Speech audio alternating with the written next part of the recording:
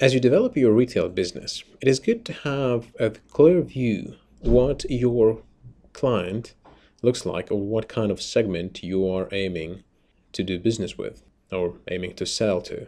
As you already know, we have five different districts. As you have most probably already guessed, the different type of consumers can be found in different districts.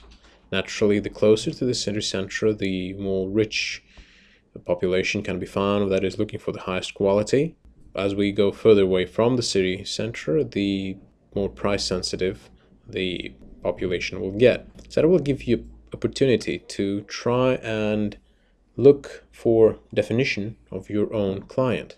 For example, when we will go to see the competitive market, certain product, we can see your competitors and we can see what price and quality combination they're selling and where their uh, stores are. So naturally that either you can jump in and compete if you have the goods and you have the necessary quality and you can afford the price your competitor is putting up or maybe then you should move to a different district and sell a different price and quality combination of a, the same product and naturally then later on form your own unique product mix that supports all the products you're selling.